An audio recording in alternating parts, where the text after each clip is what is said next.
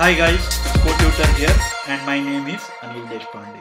Anybody who gets started with Android development will come across activity. Activity is one of the most important component of Android. The very first thing any Android developer would come to know is that is the presentation layer of an Android application. You can think of activity as analogous to a HTML page in a web application. Just like any web application can have multiple web pages, an Android application can have any number of activities. Basically what is happening is activities are being launched in a stacked fashion. What do I mean by stacked fashion is if there is an activity A and activity B and activity launches B, then B will be put on top of activity A.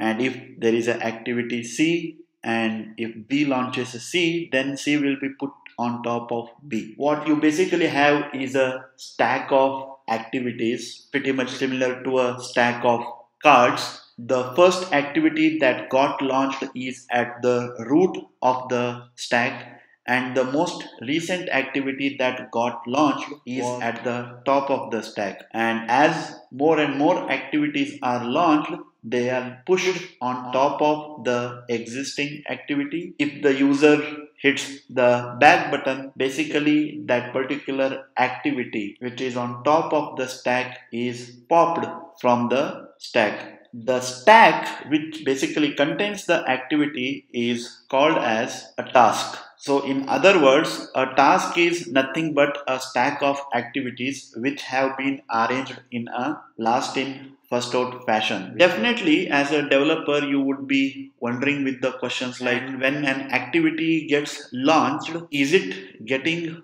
pushed on an existing stack? If I don't want it to be pushed on the existing stack, can I create a new stack? Can I somehow manipulate the activities that I can push onto the stack based on some kind of a preference and if I already have an existing activity somewhere in the stack can I reuse it rather than creating a new instance of it? These are some of the very obvious questions that most of Android developers will start wondering. Answer is basically yes and it is basically controlled through something called as launch modes. Any activity by default always gets launched in a standard mode. But other than that there are few other modes like single top, single task and single instance. And you will come across something called as event task affinity which basically decides where a particular activity will get pushed into in terms of if multiple number of